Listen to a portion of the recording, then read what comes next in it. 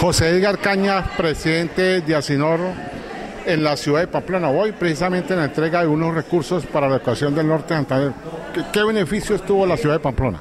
Sí, este, salieron varios docentes beneficiados con lo que hace referente al costo acumulado del año 2008 al año 2010. Es importante porque prácticamente, como lo indicaba el señor gobernador, desde el año 2013 hasta la fecha, prácticamente en un 90% eh, queda el departamento a paz y salvo en lo que hace referencia a costo acumulado. Quedan algunos otros docentes pendientes que no aparecieron en el listado, pero a ellos les estamos orientando que tan pronto se inicie el proceso de notificación, oficien a la Secretaría de Educación con copia de las resoluciones que reconocen el costo acumulado y mirar la fecha en que produce efectos fiscales para proceder a hacer la reclamación al ente territorial, en este caso Norte de Santander, para que se cancele ese costo acumulado. Hablando de número de plazas, ¿cómo se encuentra hoy la educación en Pamplona?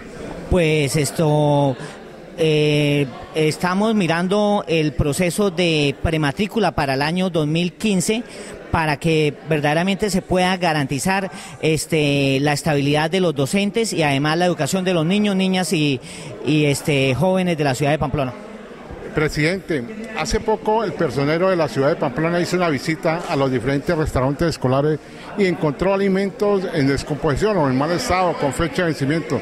¿Qué parte, qué informe conoce usted de la personería? Sí, no, eh, de la personería oficialmente no conocemos ningún informe, nos hemos enterado por los medios de comunicación y por las redes sociales. Lamentable que se dé ese trato a los niños, niñas y adolescentes que son el futuro de Colombia y de verdad es este a buena hora los organismos de control están haciendo eh, la vigilancia y la visita a, esas, a estos restaurantes escolares. Conocimos que de pronto se va a llegar al punto de terminar la contratación, donde seguramente por la inmediatez no va a haber alimento para los estudiantes y se van a estar perjudicados. Sí, de todos modos este, se garantiza, eh, se, se, se, pone en riesgo la alimentación de los niños, pero de verdad, Julio, es preocupante que el prestador no esté entregando los alimentos en la calidad como se debe, debe establecerse en el contrato. Entonces se están dando justas causas para dar por terminado ese contrato.